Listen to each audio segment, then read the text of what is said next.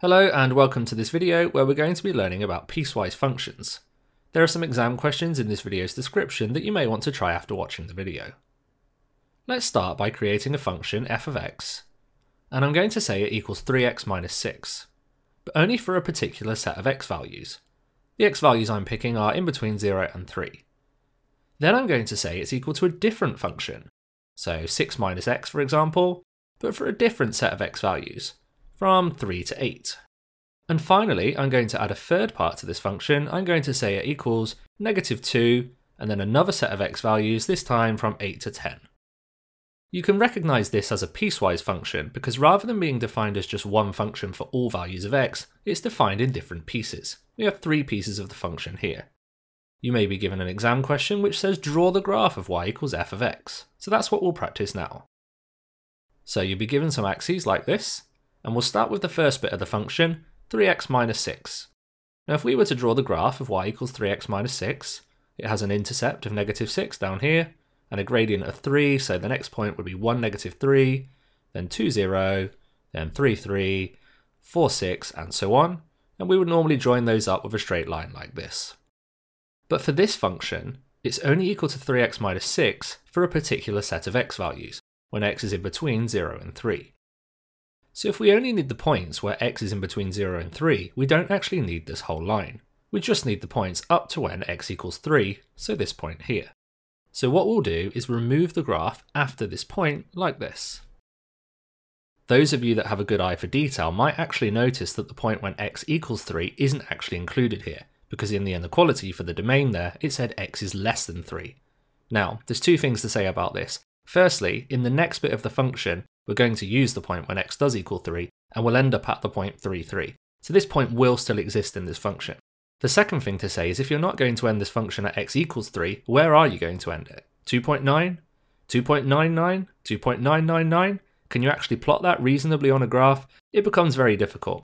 So even though it says less than rather than less than or equal to, we're going to leave on the point when x equals 3.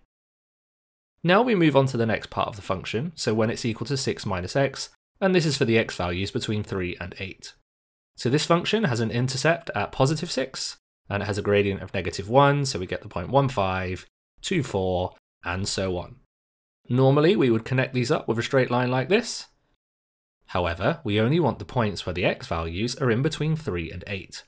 So this point here, where x was 3, and this point here, where x was 8.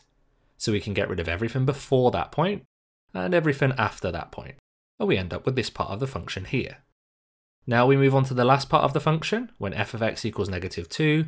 This is just a horizontal line at negative 2, like this. But we only want the x values here to be between 8 and 10. So we can remove all of the points before 8, like this. We've now completed the graph of y equals f of x. It should hopefully be clear why this is a piecewise function, because the function is made up of three different pieces. This time, let's take a piecewise function that's already been drawn for us and try and work out what the function is. So we'll start with f of x. Let's take each of the parts of the function in turn. So the first piece here, if you look at the coordinates that this function goes through, you've got 0, 0, 1, 1, 2, 4, and 3, 9. Hopefully you spot that 0, 1, 4, and 9 are just square numbers.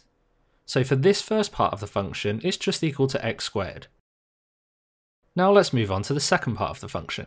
So this part here. This is a straight line, so we know it will be of the form mx plus c. We'll need to start by calculating the gradient. So let's pick two points on the line. I'm going to go for these two here and draw a gradient triangle. You should be able to see the gradient here is negative 4. So the graph will be of the form y equals negative 4x plus c so we need to now find the intercept. Unfortunately, we can't just extend the line off like this and try and find the intercept that way because the graph doesn't go that far. So let's take the graph, y equals negative 4x plus c, and just substitute in a point from the line. I'm going to go for this point here, it has coordinates 4, 5. So let's replace x with 4 and y with 5. So 5 equals negative 4 lots of 4 plus c, or negative 4 lots of 4 is just negative 16, and then if you add 16 to both sides, you'll get c equals 21. So we know the gradient's negative 4 and the intercept is 21, so it must be negative 4x plus 21. Now we'll move on to the final part of the graph, this one here. It's also a straight line. So again, we'll start with a gradient triangle. I'm going to go for these two points here. And you can see the gradient of this one is positive 1 half. So again, it will be of the form y equals half x plus c. Let's pick a point on the line. I'll go for this one here, 7, 2. Let's replace y with 2, so 2 equals, and then x with 7, so half of 7 plus c. Half of 7 is just 3.5. And then if you take away 3.5 from both sides, you'll get c equals negative 1.5. So for the final part of the function, the final piece, negative half x take away 1.5. Now we haven't finished yet, we just need to put on the different domains for each of these parts of the function. So the first part of the function starts at 0, and you can see from the graph it ends here when x equals 3. So x is in between 0 and 3. The next part starts at 3, and you can see from the graph here it ends at 5, so you can see x is in between 3 and 5.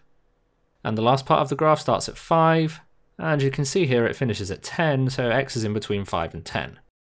All we need to do now is add in the inequality sign, so we'll start with a less than or equal to, and you might remember from the previous question we need to be careful at this point. So notice the number 3 here is at the end of this interval, but the start of the next interval.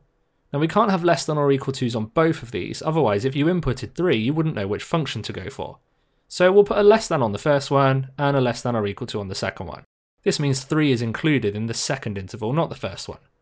We do the same process with the 5s, so less than 5, and then less than or equal to on the next one, and since we finished the function at 10, we'll put less than or equal to for the 10. Thank you for watching this video, I hope you found it useful. Remember there are some exam questions in the video's description that you can try now. Check out the video I think you should watch next and subscribe so you don't miss out on future videos.